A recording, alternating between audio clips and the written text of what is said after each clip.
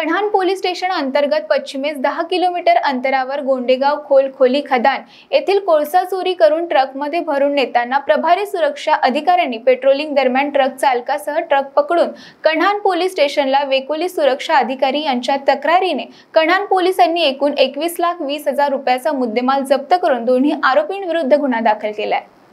प्राप्त माहितीनुसार रविवार दिनांक बावीसला रात्री बारा वाजता वेकोली प्रभारी सुरक्षा अधिकारी नागनाथ चरणदास खोब्रागडे वय पंचेचाळीस वर्ष हे गोडेगाव खुली खदान परिसरात पेट्रोलिंग गाडीसोबत सुरक्षा रक्षक शिवमुरत कुरील आशिष घोपटे अधिकरण बेहुनेसह पेट्रोलिंग करत असताना मध्यरात्री दोन वाजता गुप्त बातमीदाराकडून माहिती मिळाली की गोडेगाव वस्तीच्या मागून ट्रकमध्ये चोरीचा कोळसा भरून निघत आहे.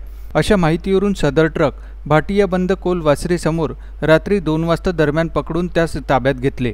भवरसिंग रामसिंग चव्हाण असे चालकाचे नाव आहे. तर गाडीची पाहणी केली असता अंदाजे बारा टन कोळसा किंमत एक लाख वीस हजार रुपयांचा माल ट्रकमध्ये आढळून आला. सदर चोरीचा कोळसा हा फारुख अब्दुल्ला शेख याचा असल्याचा सांगितल्याने पोलिसांनी त्यांना अटक करून एकूण एकवीस लाख वीस हजार रुपयांचा मुद्देमाल जप्त केला आहे व पोलिसांचा पुढील तपास सुरू आहे. व्ही के बी न्यूजसाठी कमल यादव यांची रिपोर्ट.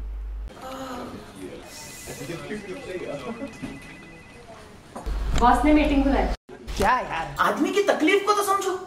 बाहर बाहर उठो बैठो उठो बैठो। जनाब तकलीफ़ उठने बैठने की नहीं तकलीफ़ बवासीर की है। बवासीर फिशर भगंदर पाइलोनियल साइंस का आयुर्वेद तथा आधुनिक लेजर से उपचार। Abhyuday piles laser hospital Lohar Samaj Bhavan के पीछे महापुष्प सोसाइटी शताब्दी नगर चौक से मनीष नगर रोड नागपुर। कॉल और विज़िट करें www.pilesfistulacure.com